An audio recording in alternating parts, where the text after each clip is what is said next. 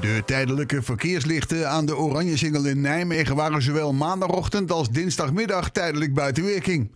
Maandagochtend kwam het door een storing, verklaart de gemeente Nijmegen. Dinsdagmiddag heeft een wagen van een pakketdienst bij het achteruitrijden de overhangende kabels kapot getrokken. De bezorger van een pakketdienst reed achteruit op de Ventweg toen hij de kabels raakte. De schade aan de verkeerslichten werd net voor de avondspits hersteld. De gemeente Nijmegen verklaart dat de incidenten gewoon pech is.